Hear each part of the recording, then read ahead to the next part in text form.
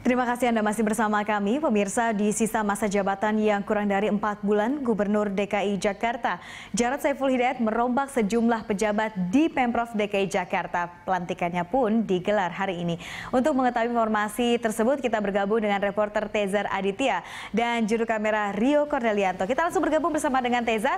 Tezar, bagaimana jalannya pelantikan hari ini di Pemprov DKI Jakarta? Berapa total yang dilantik?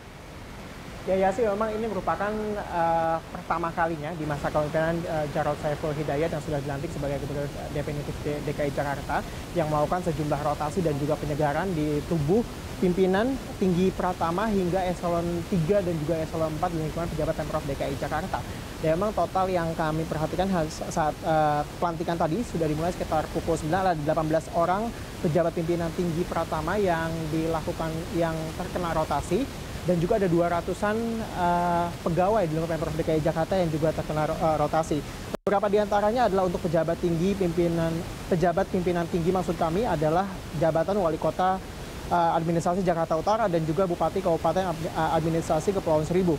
Dari yang sebelumnya untuk wali kota Jakarta Utara yang dipimpin oleh Wahyu Haryadi, saat ini diisi oleh Hussein Murad.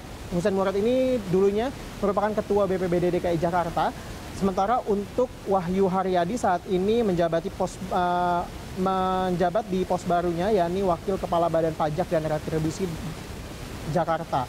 Sementara untuk Bupati Kabupaten Seribu yang sebelumnya diisi oleh Budi Utomo sejak 2015 lalu, saat ini diisi oleh Irman Syah. Irman, Irman Syah ini merupakan Wakil Wali Kota Jakarta Selatan sebelumnya.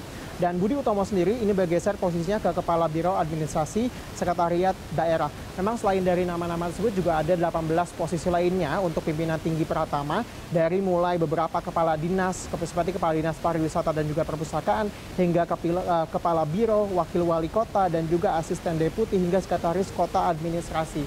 Dan memang jika kita bandingkan dengan pada masa pemerintahan yang sebelumnya ya, yang dijabat oleh Basuki Cahayapurnama memang pada saat Basuki Cahayapurnama menjabat sendiri sebuah uh, rotasi adalah rahasia bahkan orang-orangnya sendiri tidak akan tahu bahwa ia dirotasi sampai pada hari tersebut. Sementara untuk pada masa pemerintahan Jarod Saiful Hidayat, ini memang uh, rotasi yang dilakukan saat ini namanya sudah beredar beberapa hari lalu karena memang uh, untuk uh, pemerintah sendiri berkoordinasi kepada DPRD untuk jabatan-jabatan seperti misalnya jabatan wali kota dan juga jabatan bupati. Sehingga kemudian uh, kalau menurut dari DPRD DKI Jakarta, memang sebelumnya sebelum uh, Basuki Cahayapurnama ini merupakan tradisi yang sudah ada dan sempat hilang pada masa Basuki dan juga saat ini dikembalikan oleh Jarod Saiful Hidayat.